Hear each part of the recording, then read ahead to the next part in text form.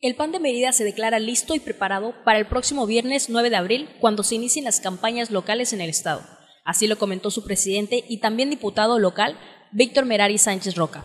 quien hizo referencia a la fortaleza de sus estructuras en prácticamente todas las colonias y fraccionamientos de la ciudad. Y también recordó que son subcomités quienes permanecen en contacto con los vecinos, no solo en campañas, sino durante todo el año, y de ahí se ha podido realizar gestiones para mejorar los servicios públicos y también se han hecho trabajos sociales de apoyo a quienes más lo necesiten. El dirigente municipal, Víctor Merari, afirmó que el contacto es permanente y la estructura municipal no es un tema de campaña, sino que ha sido un soporte del PAN desde hace muchos años,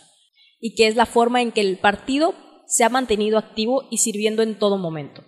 Recordó que son un partido político vivo y fuerte, y esto se ve reflejado en el aumento de la estructura municipal y la responsabilidad de este comité para brindar las herramientas a aquellos que decidan ayudar y crear células del PAN en colonias. Mencionó también que todos los panistas de Mérida se sienten orgullosos de la estructura en colonias, que de ahí salido respuesta a problemáticas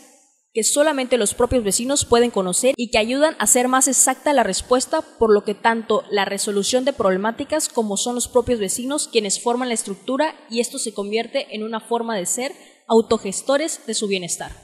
y afirmó que se seguirán fortaleciendo estas estructuras y seguramente todos los vecinos de estas colonias ya conocen dónde se reúnen el subcomité del PAN. También hizo una invitación a los ciudadanos a acercarse y poder plantear sus inquietudes, que seguramente serán de mucho valor para el desarrollo de la comunidad. Para Notivisión, Abigail Rangel.